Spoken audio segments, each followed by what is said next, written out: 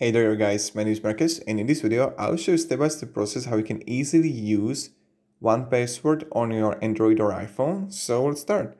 The first thing you want to do is when you're going to be on uh, like your phone, you're going to have four things in the menu. The first thing is favorites, like if you add some logins to your favorites. Then you're going to have categories, tags and settings. The first thing I recommend for you to do is go to settings and click on autofill right next to the display.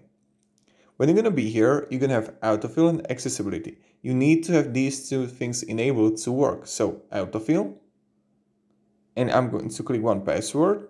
Yes, we trust this app.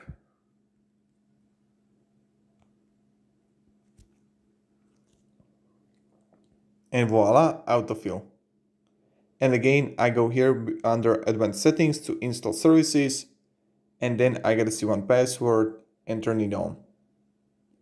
View control, allow. Let's go back, let's go back, let's go back. Again, I need to add my password right here.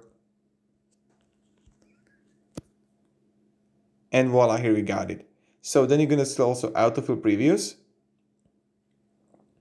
And you can also auto copy one-time passwords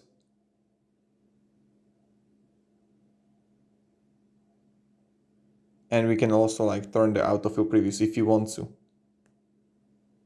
Now let's go back.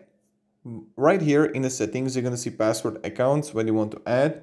Then you're gonna see wallets that you can like uh, disable. Security. Then you can like have biometric unlock and pin code. Watchtower. Again, you can check for vulnerable passwords and two-factor and compromised websites and then you're gonna see the display here that you can change the theme to light. And this is like pretty much it then you get like notifications here. So when you would go here to categories let's get to the fun part. You can simply click plus here on the right bottom corner and find login credit card identity password documents bank accounts databases driver license email account and so more or even like wireless router. So what you want to do is like add login here and let's use, use like Facebook. So I can add a login. Then you just add here you like Facebook. Look at this. Then you add a username, which is your email, password, and website. You add here facebook.com. Then you can like add tags if you want to. That's like really up to you. I already created one. So I have it right here. It's my like my name and my password on Facebook. So what can I do? Is now just go to facebook.com on the Chrome. I'll just unlock, log out.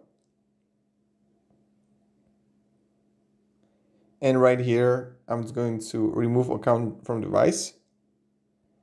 And right here, you're to see right here, search 1Password, create a new login or automatically login. I just need to enter